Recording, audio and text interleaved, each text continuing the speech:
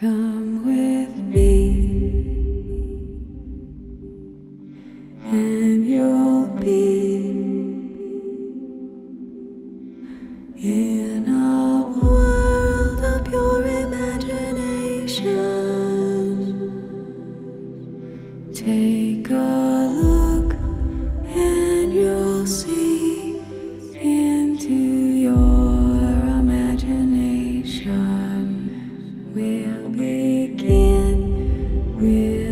It's been traveling in the world of my creation. What we'll see will defy explanation.